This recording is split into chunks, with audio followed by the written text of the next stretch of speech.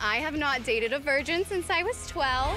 Oh my God! Colton looks so hot. I plan on rubbing oil all over his body. He is literally like a chiseled god to me. Hi, Poppy, You're getting me hot? You could lose your virginity this week. No, why do that? Could Colton lose his virginity in Singapore?